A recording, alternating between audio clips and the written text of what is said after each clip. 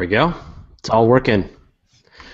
All right, well, I'm going to try and be professional here. Hey, everyone. My name is Fraser Cain. I'm the publisher of Universe Today, and this is your weekly space hangout for Friday, October 3rd, 2014. This week, we will be talking features on Titan, uh, Sierra Nevada, complaining to NASA, the uh, upcoming uh, lunar eclipse on the 8th, primordial water in the solar system, and uh, dust jets from uh, 67 Chiriguri. Uh, as well as a bunch of great stories from the uh, Weekly Space Hangout crew. So we'll get to all to the, all that. Joining me this week, we've got Dr. Brian Koberlein. Dr. Koberlein. Hi. We've got Morgan Rehnberg. Morgan, how's it going? Hey, Fraser. Going well. And we've got Ramin Skibba. Hi. You made it the last minute. Yes. And you got that lower third going. Discovered the lower third. You discovered Yeah, the I- lower third. I think I figured it out. Right on. And now we had uh, Dave Dickinson, who you may or may not know is on walkabout. Uh, he and his wife have been traveling around the U.S. Um, just like taking pictures and uh, enjoying uh, all the scenery. And he was trying to join us from hotel wi- from a hotel in Reno on their Wi-Fi, which it was is madness. So if uh, he's able to return, uh, then he'll fill us in on the uh, the upcoming lunar eclipse, and if not, then uh, then he won't. So just before we get on to the show, I just want to remind everyone that that you can get this as a podcast. So if you don't feel like you really need to uh, sit in front of your computer at exactly 12 o'clock every Friday and watch us live, you can download it onto your mobile device. Uh, just do a search for the Weekly Space Hangout uh, podcast. You can find it on iTunes, uh, and you can just download it to whatever podcatching software you most enjoy. All right, well, let's get cracking. So uh, we were going to go with Dave first, but we've lost him. Oh, there he is. And I, Speak of the I think we'll we may lose him again. So Dave, can you can you hear us?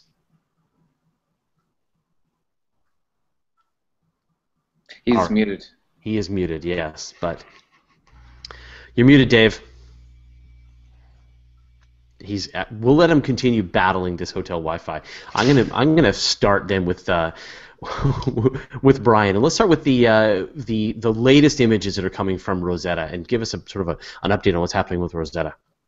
Okay. Um, Rosetta is still making a close approach, so it's still moving in. We've got a landing date, I think November 12th for the lander. But this is uh, new images from 26 kilometers away from Churiguri itself, and you can see gas and dust starting to vent from this. So I don't know if you want to pull up the image or you want me to pull up the image one bit. um, it's actually four images that are roughly combined and then brightened. And you can see the surface features, but you can see this dust coming off on the back side of it. And it's a really great picture because you're seeing comets, a comet start to be active from 26 kilometers away, which is pretty impressive. Yeah. Well, this is the. Uh, I mean, up until now, it really looked like an asteroid. Partly because it was black and white, but Right. partly just because of the of the structure and the features that it had on it. It really looked very asteroid-like. But I, as I've been, I've been posting on Twitter, just reminding everyone, no, no, everyone, this is a comet. Right. Look at Yeah, it. you through definitely see that. And this is only going to get better as we go because it is coming closer to the sun, and so it's going to become more active, and so we're going to have the front row seats. That's just terrific. It's just an amazing Yeah. picture. Yeah, and uh, uh, Rosetta is is paying off as as exciting as I was expecting it was going to be. It looks like there's Yeah. ice or something flying off of it in uh, in that image. Um, Yeah. Or maybe it's just the way the light is it loo- looks. No, no, it actually did an altitude adjustment just uh, just a couple of days ago, right? It dropped 10 kilometers closer, and so these pictures are from this this closer approach now, right? Right. Right. I mean, you're only 26 kilometers away, which is, you know, not really that far at all. That's pretty cool.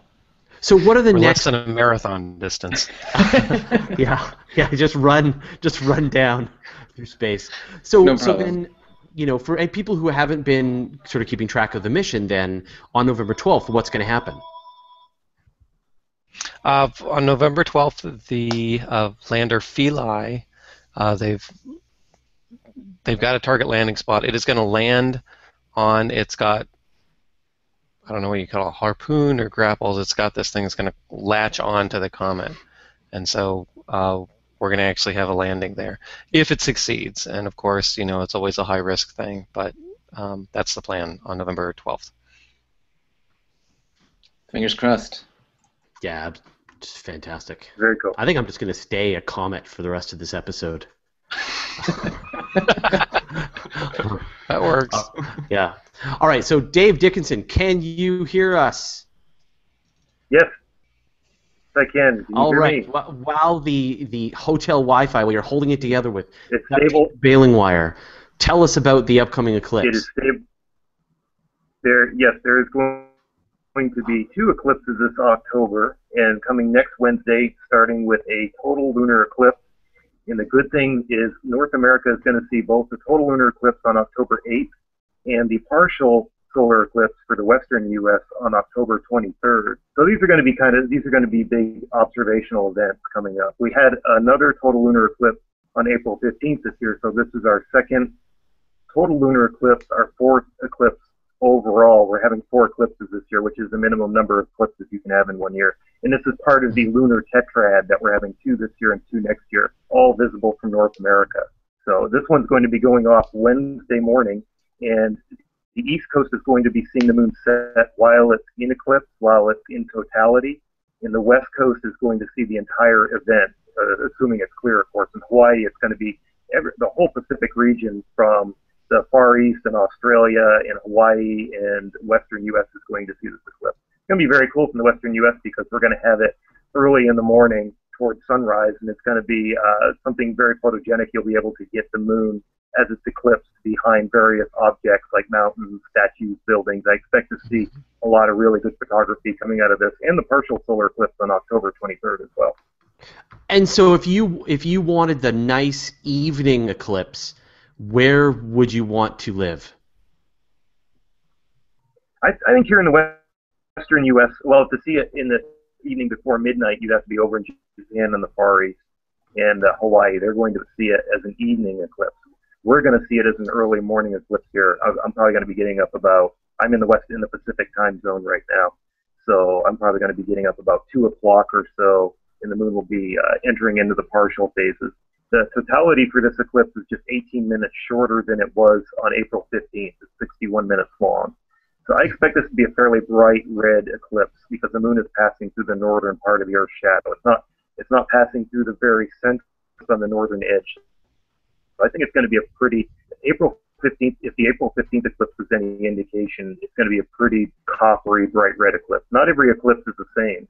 In 1992, after the uh, eruption of Mount Pinatubo, there was an eclipse that the moon almost disappeared entirely when it passed into the Earth's shadow.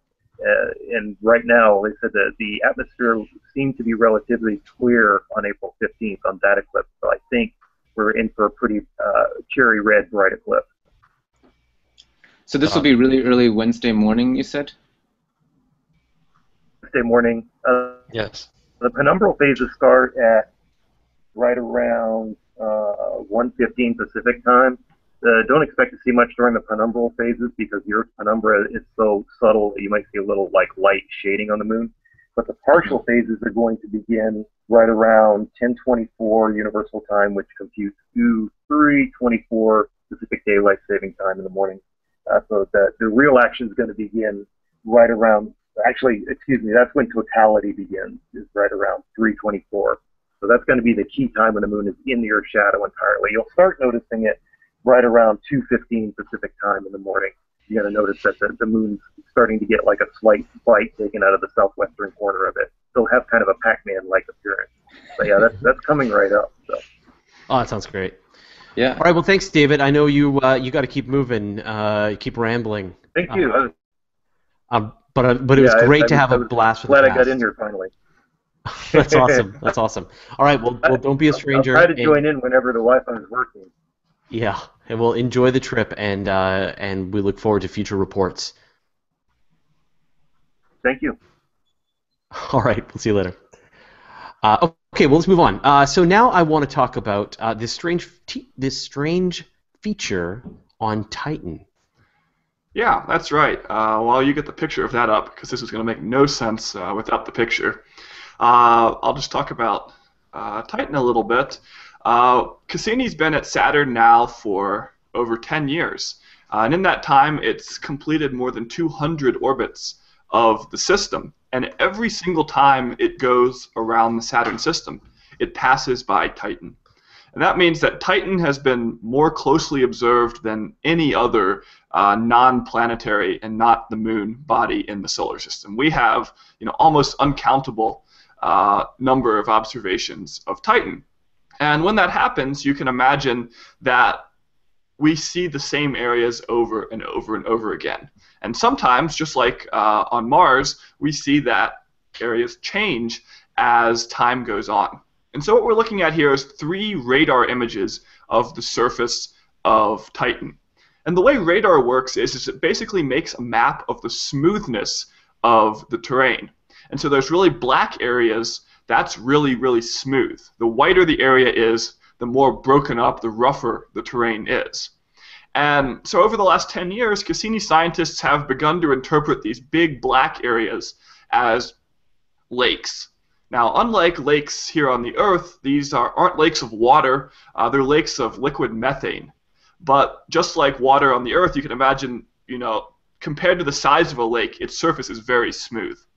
And so they reflect radar very effectively, and we see them as these big black uh, splotches on, on these maps of, of the moon.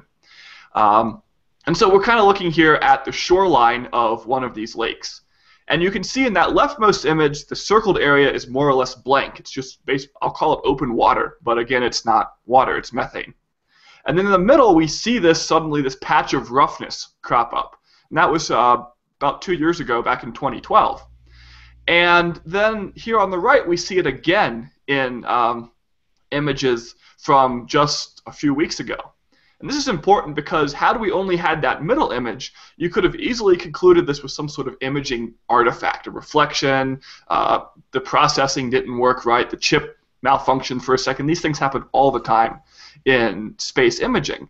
But when we have two images separated by two years of the same spot showing this, this strange feature, we can conclude with a very high level of certainty that we're looking at something real. And then the question just becomes, what is it? And we've only basically ruled out one thing. And we've ruled out the idea that the ocean or lake has evaporated enough to reveal new land.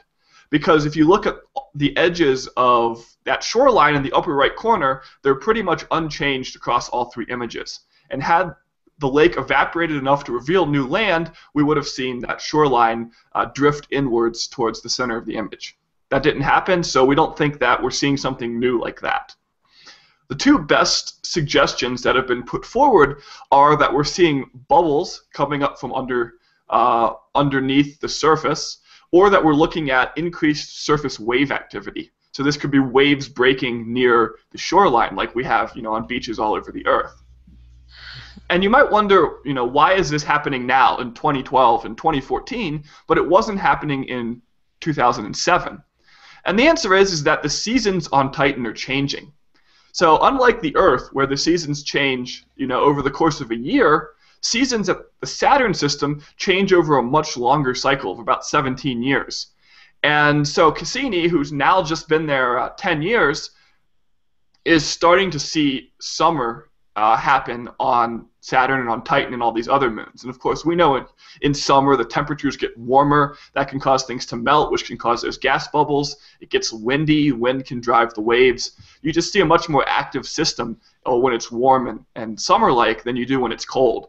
And this could be some uh, some of the first direct evidence of these seasonal changes on the surface of, of Titan.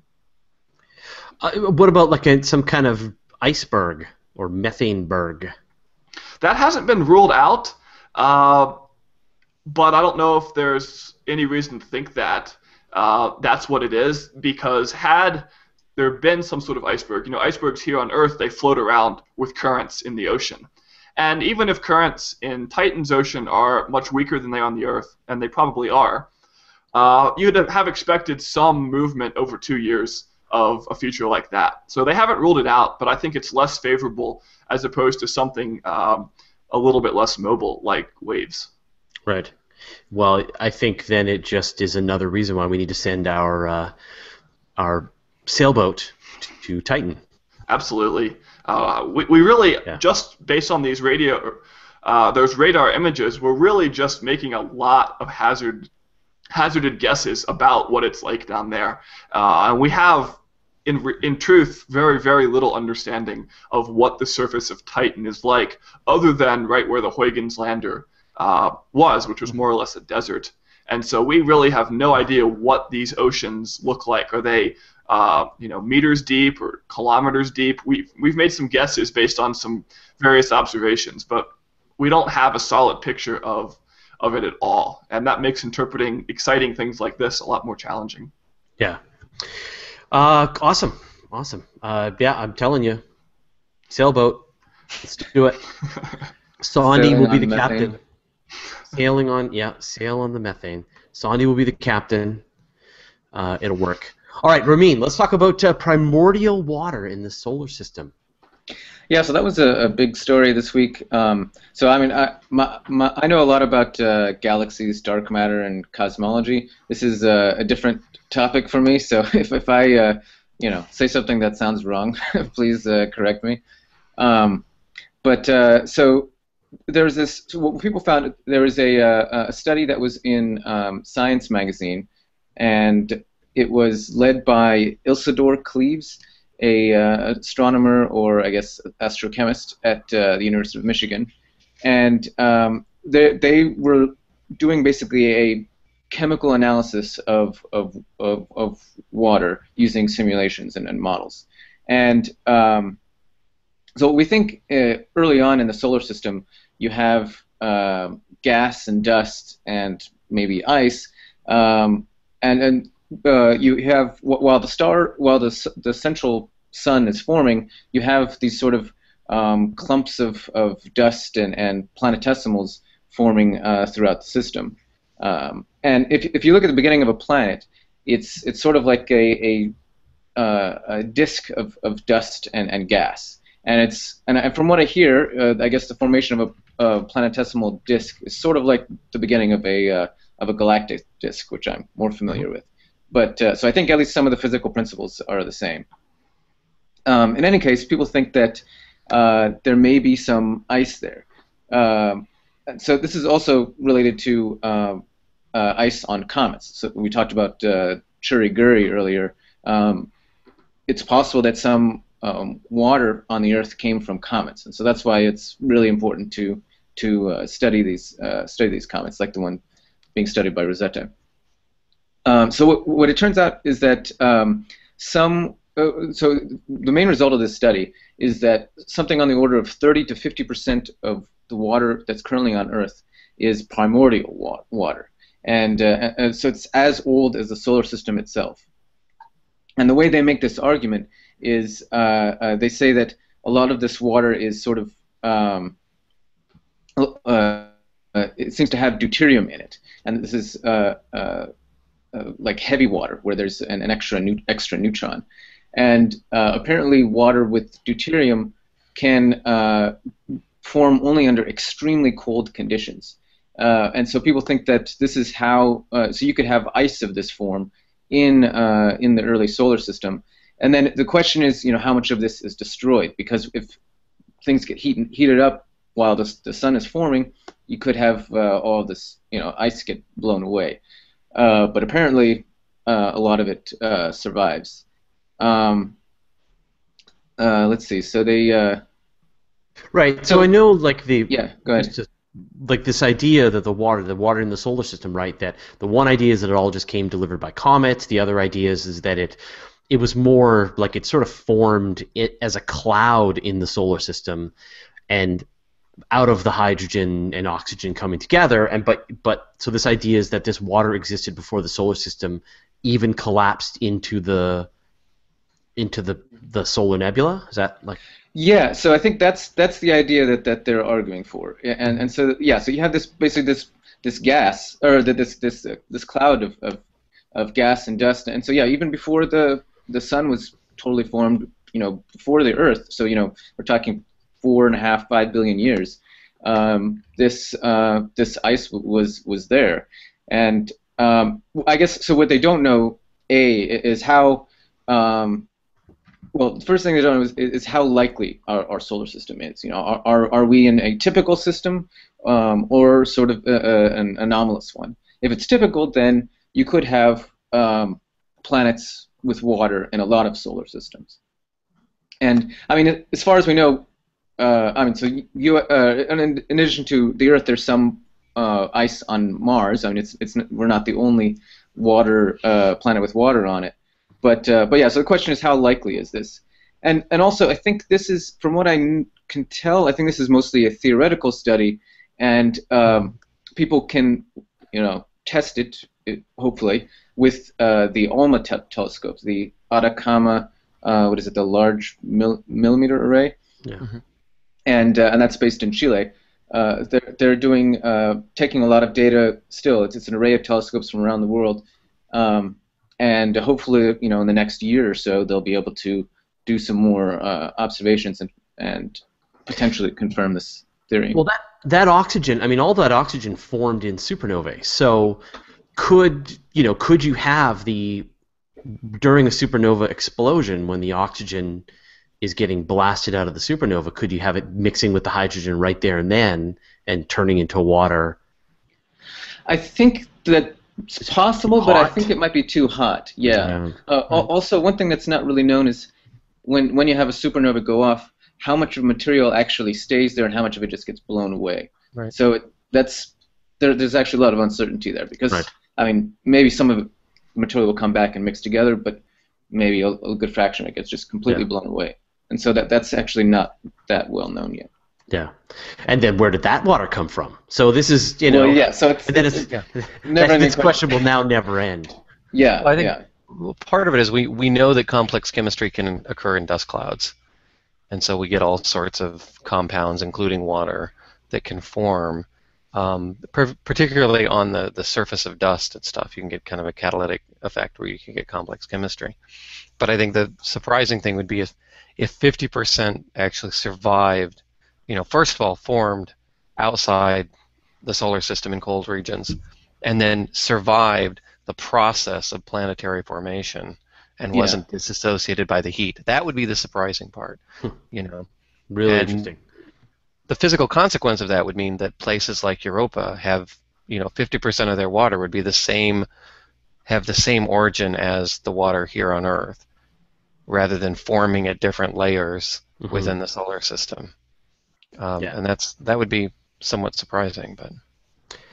All right, well, let's move on. Um, so I think we've got one more story from you, Morgan, about uh, Dream, was it Dream Chaser, Sierra Systems? Yeah, that's right. So we talked, I don't know if it was last week or two weeks ago now, about how NASA had awarded the first commercial crew transport contracts to Boeing and to SpaceX. And one of the things I mentioned during that discussion was that NASA awarded a total of $6.8 billion, about two thirds of which went to uh, Boeing. And I mentioned at the time we didn't know whether that was because uh, NASA had more confidence in Boeing or whether they were coming in more expensive. And this past week, Sierra Nevada, who developed the Dream Chaser, which is that tiny looking space shuttle like thing on the tip of that picture, uh, and they're the third major competitor in this new field of commercial crew transport. And they they allege that they came in with a proposal much less expensive than that of Boeing's, but NASA took Boeing's proposal instead. And this is kind of a big no-no in government acquisitions. Uh, if two two proposals come in and, and both meet the guidelines, then taking the cheaper one is basically the route that you have to take. And they're alleging that that didn't happen and that NASA was improper in their selection of these proposals. Um, and in response, NASA has told SpaceX and Boeing to stop working on uh, the contract milestones, etc., that they were recently awarded while this whole mess is sorted out, uh, presumably in the legal system. Uh, but that isn't slowing down uh, Sierra Nevada in also working to get their technology into space. Uh, they announced a new partnership uh, with uh, a company called Strato Rocket or something like that. Do you remember exactly what it's called, Fraser? Nope. I thought I heard you mention it at the beginning. Yeah, it's something like that, and it, it's funded by uh, a guy named Paul Allen, who uh, right, of course, who was the guy behind the original Spaceship One, which we all know is the first ever commercial spaceship, and now forms the technology backbone for Virgin Galactic's uh, new service that will hopefully be launching in the next couple of years. And their idea, his idea, has always been uh, not to use rockets uh, for the whole journey, but like the picture you were showing, fly up pretty high uh, in a plane and then drop off your rocket and light it from, say, 50 or 60,000 feet. And there's a t- most of the Earth's atmosphere is going to be below you at that point, so you have a lot less resistance that you need to overcome, and you can, you know, use a smaller, more efficient rocket. And you're going a thousand kilometers an hour already. Already, which decreases the amount of uh, of the lift. So it makes sense on a pilot levels, except it's complicated and tricky. But right, and so and this is, is what Virgin Galactic will be doing uh, yeah. with their uh, Spaceship Two, and this is now what Sierra Nevada is proposing to do. And they've announced that they're more or less open for business for uh, private uh, enterprises to contract with them, either to deliver crew to the space station or to deliver cargo into low Earth orbit. And they're going to use this hybrid system as opposed to the uh, their old proposal, which was to basically strap the Dream Chaser vertically onto an Atlas V. Uh, and Atlas V's are expensive, and I think that they're hoping to become more cost competitive this way.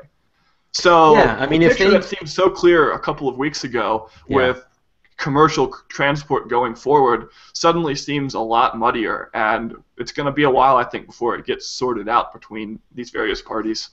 Well, I mean, if they've fulfilled the the requirements, the technical requirements that that NASA's put out there with their proposal, and it's a pretty exciting um, launch platform to do that. I mean, we've seen it work with with uh, with Virgin Galactic or with the the original uh, the original space, Spaceship One, that should be given a shot to see if it can do the trick. And and so I'm not sure how much testing and how many you know how many safe launches they've had. That's the only problem is that both Boeing and now SpaceX have had lots of successful launches under their belt, including with the Dragon capsule, which is a human-rated vehicle. So so I think that's the only question is just how many times they can do this test. But it sounds it sounds like that's the right call to give them a shot at at being right. a part of this of this uh, competition.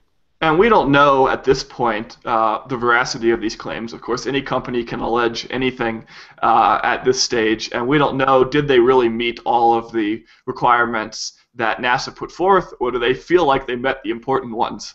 And that the rest were superfluous only to basically exclude them from the competition. And it's these kind of messy details that are going to come out uh, in the next weeks or months as uh, NASA and the legal system sort through um, the questions yeah, here. It might not look good if there's a uh, you know drawn out legal, legal proceedings and investigations and things like that. So let's hope it you know gets sorted out sooner rather than later. Yeah, but I mean we've seen that platform work with the with the Pegasus rockets and the was it the Minotaurs? Like we've seen this aircraft launched platform get payloads to space f- successfully. So this is not completely crazy. This is this is a fairly proven methodology. And so, but I've never seen you know that monster.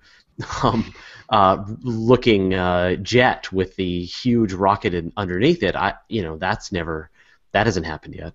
So yeah, and it's interesting to note that you know Sierra Nevada isn't the only company alleging this of NASA right now. SpaceX is making the same basic allegation uh, against, uh, in this case, the uh, Air Force uh, for selecting Atlas Fives over Falcon 9s. And they're making the argument that they basically inflated the rules continuously to keep the Falcon 9 out of competition with the Atlas V for government launches. And so this is, seems to be a problem that the government is having right now in having an open competition. For so long, there's been this handful of military contractors that have basically, you know, been the only game in town. And now that there are all of these other opportunities, I think the government is slow in reacting to changing how they procure new technology to uh, to account for this. And this is sort of the bumpy Right. road that we're traveling right now that they need to sort out because there's going to be more companies in the future, more opportunities in the future, and we want to make sure that we're getting truly the most innovative and most reliable uh, But- ideas. But it's not like they can do a just-in-time delivery for the for the vehicles, right? You've got the situation where if SpaceX signs this, whatever, if they sign a 10 launch contract or whatever, they can go to the bank and they can say, you know, we've we've we've booked 10 launches with NASA. That's going to be worth this amount of money. Please loan us this amount of money so that we can get these rockets built and we can deliver this to to NASA and and and that all functions. And so, in a perfect world, NASA would go, okay, we've got another spacecraft to launch. Uh, who's got the good deal? Okay, we'll go with the SpaceX on this one, and then, and or right now, now, we'll they have to Chaser. plan. They, they, they have to plan quite far in advance. Yeah, they all have to plan so Um, far in advance, right? So they have to yeah. get this all nailed down. But that that's what makes this such a big deal because if you do improperly select, you're hurting the competitors, you know, five, ten years in the future, and that really puts the brakes on future innovation. So when the stakes are so high, as they are because they have to be, when you're making these, you know, 10, 20, 30 flight uh, contracts, uh, you have to get it right.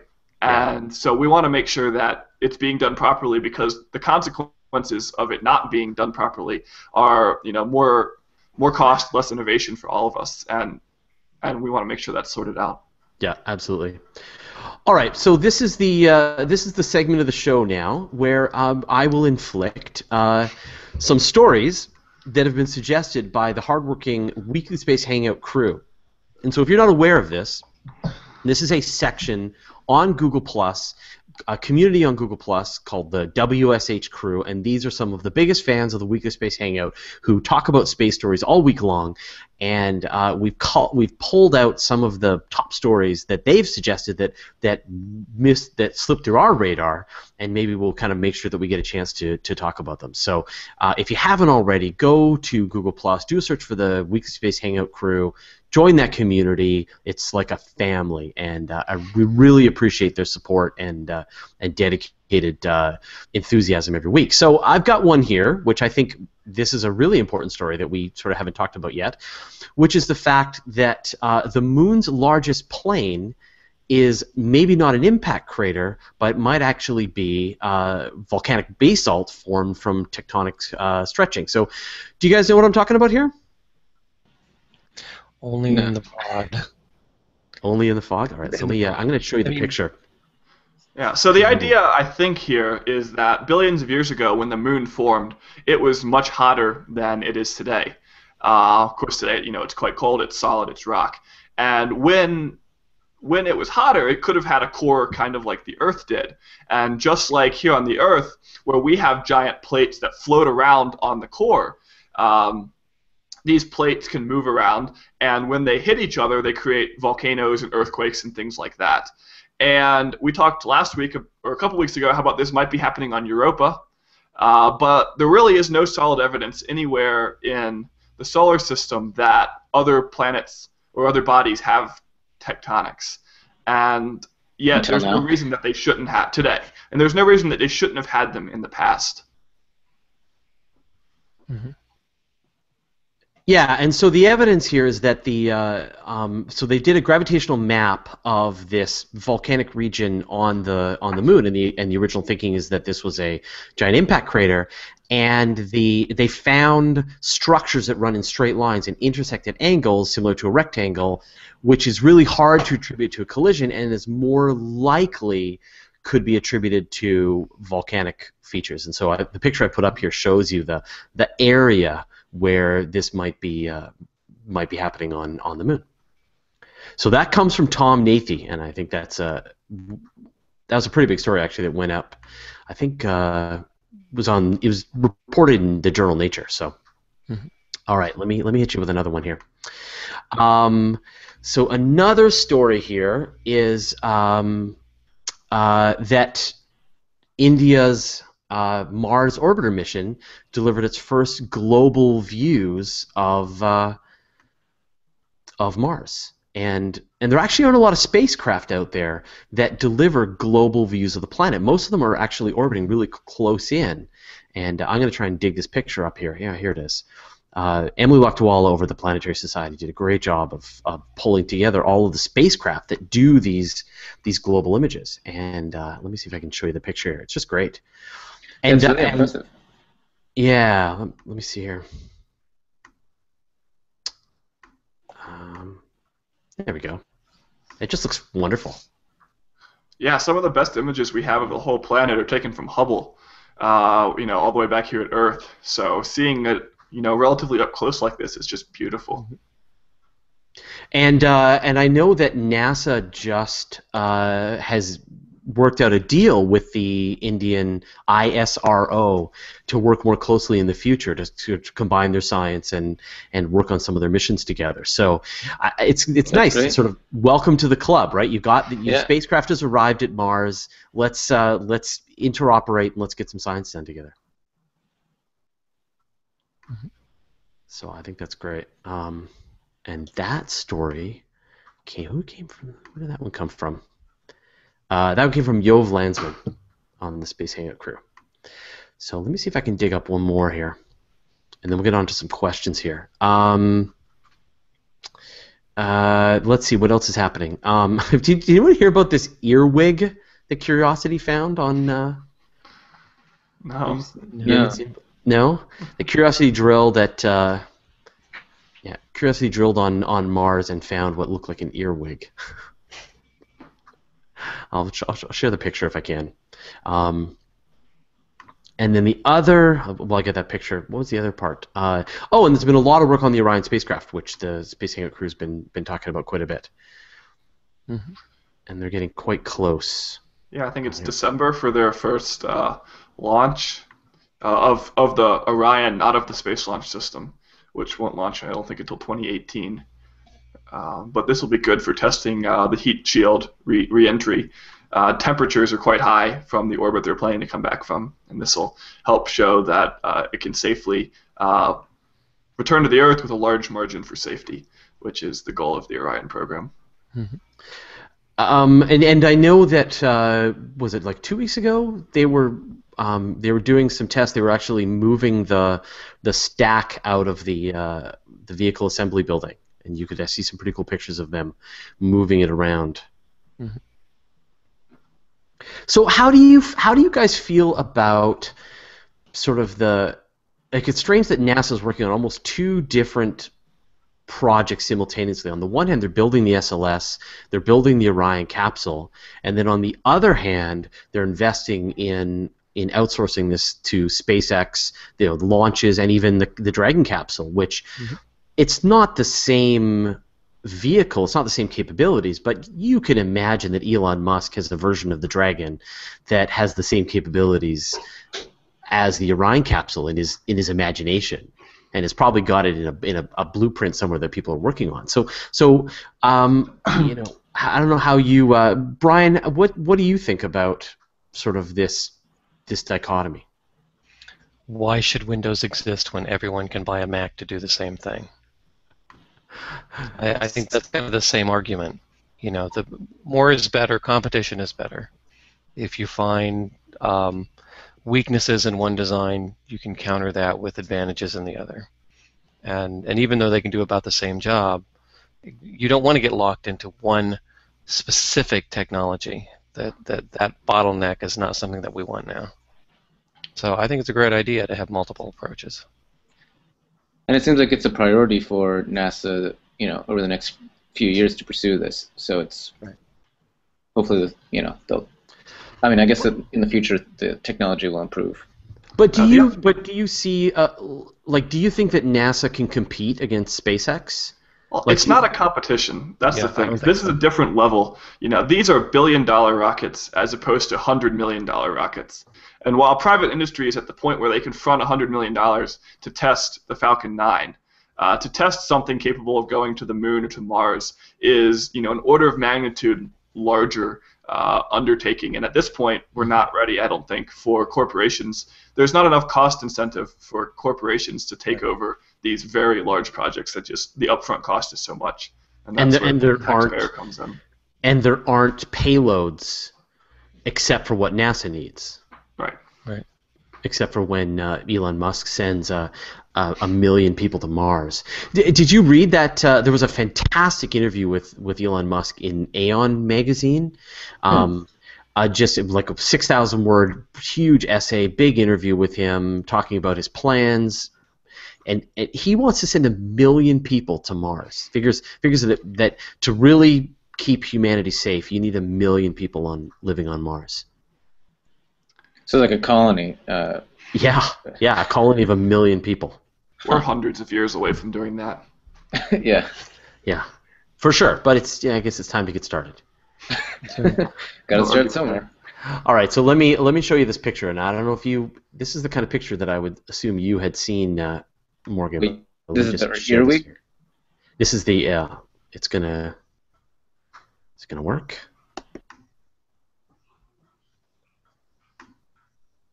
Nope. Oh. Okay. I'm looking at it right now. Maybe it's too wide? Hmm. Okay. I apologize. Anyway, it looks like a tiny little bug on the surface of Mars. It looks like a little, uh, like a little roly poly on the surface of Mars. And, uh, but I mean, we get these all the time, right? It's Let a me rock, guess. people. It's a rock. Yeah. Yeah, it's not Bigfoot. They didn't find Bigfoot. They didn't find a snake. They didn't find, um, uh, yeah. And did and also did people see that uh, that sphere that was found on the Mhm. surface of of Mars? It was quite small. I mean, how disappointing would it be to find life on Mars and it looks like an earwig? Yeah. Uh, it doesn't look like something big and exotic. It doesn't look like something totally alien. It looks like an earwig. That's not the life I want. Really? Better than in a roach or something. Yeah. Um, all right. Yeah. So people are noting in the in the Q and A app that I've turned off the clappy thing. I figured it out. I figured out how to remove the uh, the little clappy app, so we don't have to listen to it. Uh, I I don't know how it worked or what it did, but for everybody who I turned it off for, I'm you're you're welcome. So. Um, all right. I actually don't see a lot of questions from the. Uh, um, okay, so Gavin Kingsley asks, is the Dragon capsule actually human rated now, or are they aiming for human rating? It is not yet human rated. But it is cheese rated. Yes, I'm not sure NASA's published the, the exact guidelines they're going to expect from uh, SpaceX and Boeing, and maybe Sierra Nevada for what it's going to require to be human rated. But you can imagine that that SpaceX has been trying to sort of go this direction all along, and It's a question of redundancy and um, having safety features like the ability to escape off the rocket and things like that. it's got comfy chairs and really pretty touchscreen interfaces, though. Like, what else do you need? Um. Uh, okay. Atheron Baltazan says, speaking of SpaceX, space rockets, and new things, I started wondering if Elon's D is actually a new rocket. So, does anyone heard of Elon's D project? Elon Musk's? No? Yeah, so he tweeted about this like yesterday or the day before. Just tweeted a picture of a garage with a car sticking half out of it, saying something like "the D is coming," uh, and all signs point to it being some sort of upgraded version of the Tesla Model S, Yeah. not a new rocket. Sadly, Oh, okay, okay, right. That that it would be the I guess you got the Model S, you got the Model X, the newly announced Model 3, so then that would be the next one, the next car. or maybe not even that new, just an upgrade to the existing Model S with some of the features from these newer cars. Um, either way, we'll know next week. Uh, Stephen Hawkins, Hawkins, no, no relation, uh, says, I seem to have read recently that someone found evidence of plate tectonics on Mars. Now, obviously, there is evidence of volcanism on Mars. You've got the, Mhm. the huge volcanic shield mountains on on Mars. But is what do you know about evidence of plate tectonics on, on Mars, Morgan? Uh, I mean, plate tectonics is the mechanism we invoke for nearly all the volcanism on Earth today. So it wouldn't be surprising to conclude that there had been tectonic activity on Mars, uh, but that activity must have ceased uh, billions of years ago because Mars is much smaller than the Earth. It's about 10% the volume of the Earth, and so it would have cooled much faster.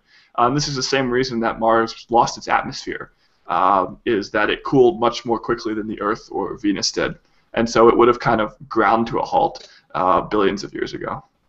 Right. But you could still have um, eruptions. I mean, that's sort of. It's possible, I've, I've heard, um, that, like, for example, you could get an eruption on uh, Olympus Mons and some of those large shield volcanoes again. That they're Maybe. not. They're not Uh, that like You, you like they're in the tens of millions of years old for, since their last eruption, which seems fairly recent when you consider that Mars is billions of years old, right? So Right. maybe So one thing eruption. that could trigger eruptions are impacts, because an impact uh, into the surface, you know, gives a big jolt of heat. Uh, but there aren't a lot of big impactors left in the solar system. You know, the last big one that we know of is the one that killed the dinosaurs, uh, and that was you know 65 million years ago. And so it'd be unlikely for one of those kind of events to happen on Mars in the near future. Uh, Gavin Kingsley likes your uh, Dominion board game in the background, Oh, in fact, I've got mine. I could almost reach my copy of Dominion if I just uh, if I was a little more flexible. Um, all right, awesome. Okay, great. Well, why don't we wrap things up? We'll uh, we will move on. So first, I'm going to give everyone a chance to shamelessly self-promote themselves. And if they don't do a good enough job, then I will shamelessly self-promote them even more. So, Brian Koberlein, how do we find out more? Uh, you can find me on briankoberlein.com. You can find me on Twitter at Brian Koberlein. You can find me in Google Plus and various other places here and there, and uh, daily posts. That was not good Astronomy enough. So, uh, I would also like to remind everyone that Brian Koberlein has a Patreon campaign. You can go to uh, patreon.com slash Brian Koberlein, I think. Yep. And I am aware that you just crossed the $200 a month I mark. did, yes. Congratulations. Thank you. what do we get for that? Great. I you get podcasts. Ah, Really? Yeah, Fantastic. Oh, I man. Well, let me, that let me know high. if you need, yeah, let me know if you need any help with that. That's that's I will. I will start asking you a lot of questions about it. Sure, yeah, no problem. Um, as you know, we just started uh, season eight of Astronomy Cast, so uh, at this point, uh, we, I've I have a I have a closet full of uh, hardware and gear that didn't work, and now I've settled on the best way to do it. So, um, well, that's great. So, if you want to contribute to Brian Koberlein and help get podcasts and more cool content out of him, go to Patreon.com/slash Brian Koberlein. All right, Morgan, how do we find out more? Well, right after this, you can find me over in the Google Plus Space community, which is not the same thing as the weekly Space Hangout crew. But if you go to uh, plus.google.com, click Communities, find Space, I'll be taking any of the questions that you might have, related or not, uh, in the next uh, hour or two. Uh, you can always find me on Twitter at Morgan Rehnberg, and you can read my ramblings at cosmicchatter.org. Fantastic. And there was you got like a big piece of you got something big event coming up in about a month, right? Yeah, yeah. So in about a month, I'll be fingers crossed defending for my masters. Uh, so that'll be uh, keeping me busy for now until then. Uh, Good so luck. I guess wish me luck. Yeah, I have good luck. you Master Morgan. Master. like doctor, master. All right, this will be good. That, that All might right, for me- encourage me just to stop. Uh, sounds, sounds even better. Yeah. Rumi, where do we find out more? Uh, so I'm I'm uh, uh, uh, my, my website is raminskibba.net where I write about um, some space stuff, also science policy issues that I'm interested in, um, and then I'm also um, I'm also on Twitter at Ramin Skibba. Um, also, if you uh, well if you, if you go to my blog, you can find a link to my work website where uh, you can find all of my uh, UC San Diego work on galaxy clustering and cosmology and things like that. And and what is the what if you can talk about it? What is like the most recent paper you've worked on? Uh, so the most recent paper I've worked on is uh, looking at the, the spatial distribution of galaxies um, going out to uh, the past 8 billion years of cosmic time. And so it's looking at um, how bright or more massive galaxies are distributed versus fainter or uh, less massive galaxies. And, um, of some populations, they're, they're evolving more than others, um, and we're trying to interpret them with uh, dark matter halo models. Um, so yeah, we're, we're trying to figure out how, uh, how the distribution of galaxies evolves over time. That sounds really cool. Uh, great. Okay, and once again, I'm Fraser Cain, and you can find me. I put my Twitter handle there, fcain. Uh, Google Plus, just slash Fraser Cain. Uh, Universe Today. Check out the YouTube channel where this is going to go, um, and uh, we will see you all next week. Oh, I guess I should tell you to go to my Patreon campaign. Yeah, patreon.com slash universe today. You can check that out. All right. Thanks, everybody. And thanks to the Weekly Space Hangout crew. Check out follow up right now with Morgan, and he'll answer some of your questions. Go to the Weekly Space Hangout crew and join the join the family, and we'll see you all next week. Thanks, everyone. Sounds good.